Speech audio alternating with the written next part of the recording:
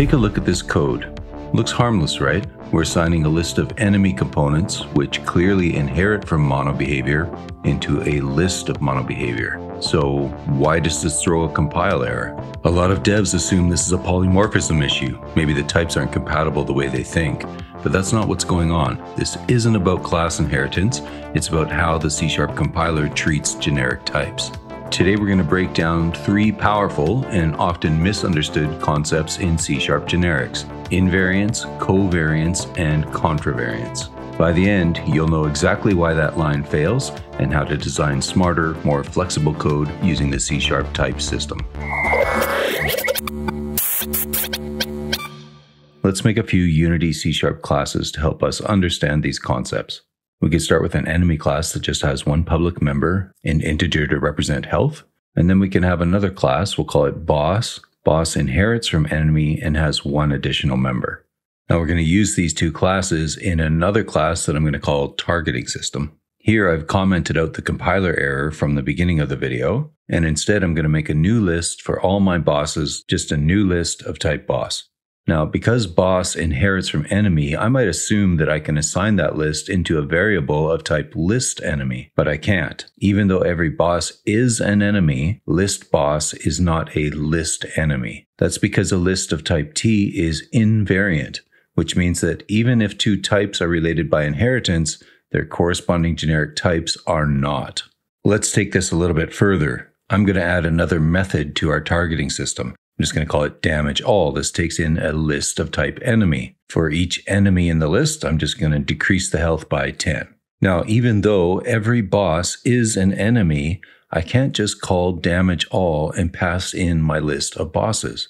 Just like before, C Sharp refuses to treat a list of boss as a list of enemy. This is still invariance. This is not about the values inside, it's about how the type system treats generic containers like list of boss versus list of enemy. The vast majority of generic types in C sharp, like list, dictionary, and hash set, are invariant. That means you can't substitute one with another, even if their type arguments are related by inheritance. Invariant literally means cannot be varied. This means the type parameter is locked. You can't vary it. List of type boss is a different, unrelated type from list of type enemy, no matter what the inheritance hierarchy says.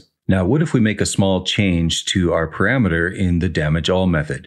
I'm going to change this from list of type enemy to IEnumerable of type enemy. Notice that immediately our compile error disappears. So what's going on? We're still passing in a list of boss, and we're still treating the elements as enemy just like before. The difference is that IEnumerable is defined as covariant. This means it allows substitution of more specific types, like list of type boss, when a more general type, like IEnumerable enemy, is expected, but only in a read-only context. IEnumerable T is read-only by design. There's no way to add, remove, or modify elements. Let's open up the interfaces for IEnumerable and IEnumerator and take a look. In C Sharp, covariance can only be applied to interfaces and delegates. Notice that these two interface definitions include the out keyword. That out t means the type parameter t is only used in output positions like the return values or properties you read from. It tells the compiler this type is safe to substitute with a more specific one because nothing is ever written into it, only read from it. That's why we can treat something like a list of boss as a more general type IEnumerable enemy because we're just enumerating, not modifying. Now we can show that IEnumerable is read-only Let's try a few common mutation operations. You can't add, you can't assign by index, and you can't clear. None of these work. That's because IEnumerable T doesn't define any way to modify the collection. Imagine if this method did something like added a new enemy to the list. Now our list of boss would have something that isn't a boss. And that's exactly what makes it safe for covariance. We can use the more general type because it's read only. Now let's flip it. Contravariance is the inverse. It allows us to substitute a more general type when a value is only ever being passed in. While covariance is about pulling data out, contravariance is about pushing data in safely. Just like covariance, contravariance is only supported on interfaces and delegates. So for this example, let's make a new delegate handle target of type T. Now let's write a method in our class that matches this delegate signature. This method, handle enemy, takes in an enemy and just outputs something to the console. We can assign that method to a delegate instance that expects an enemy, which works just fine. But now watch what happens when we try to assign that to this same method, but using the type boss. It doesn't compile. Even though boss is an enemy, the delegate types aren't compatible because the delegates are invariant by default. And this is exactly the kind of situation where contravariance comes in.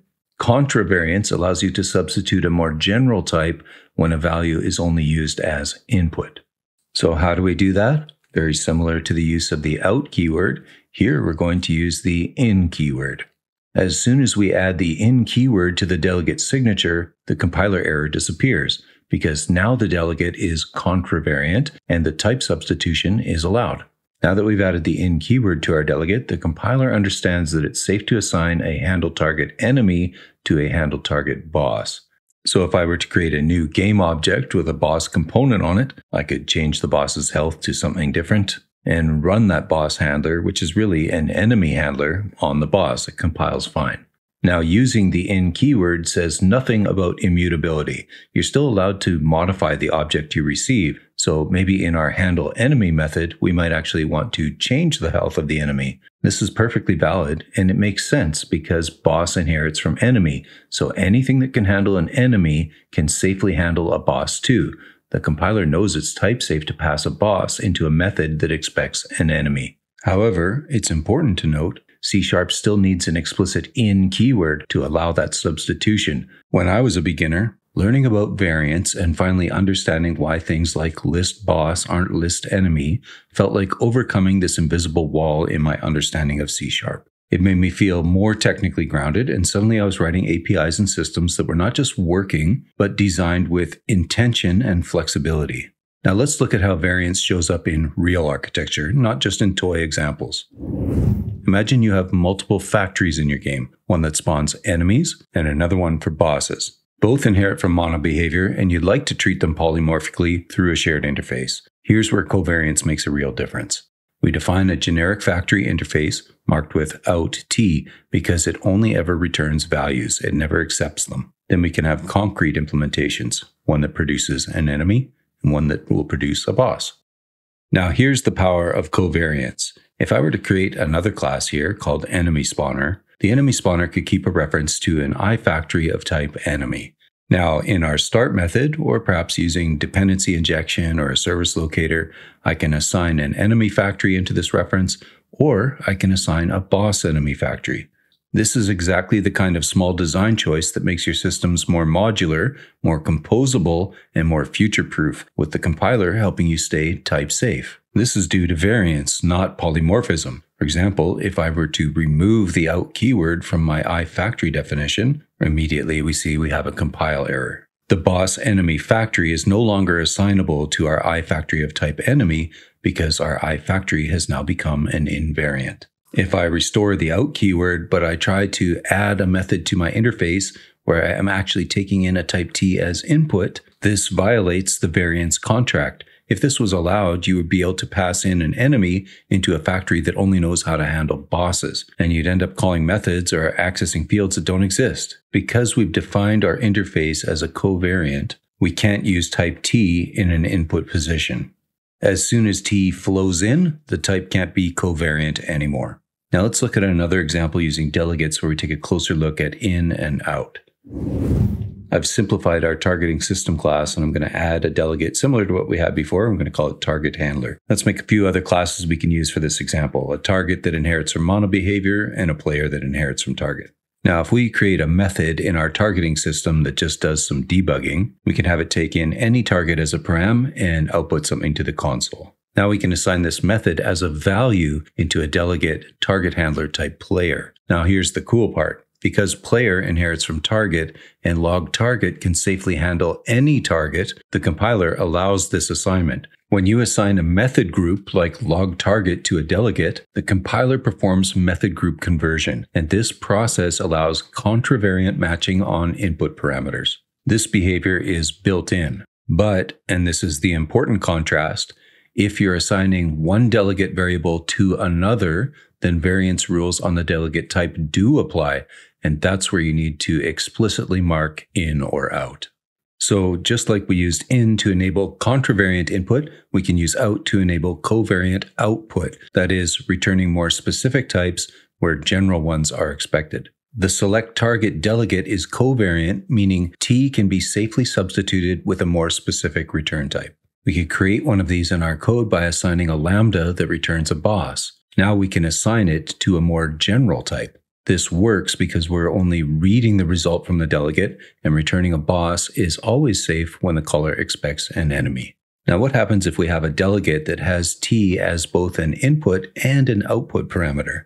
The moment we try to mark t with the in keyword, the compiler says, hold on, you're also using t as output. Variance is only allowed when the type parameter is used in one direction only, either strictly input or strictly output, not both. It's also true with the out keyword, though now we see the compiler error appears on the input parameter. Variance is only allowed when the compiler can enforce a single flow of data, in for input only, out for output only. The moment you mix both, it has to fall back on invariance for safety. Interfaces and delegates are invariant unless explicitly marked with in or out.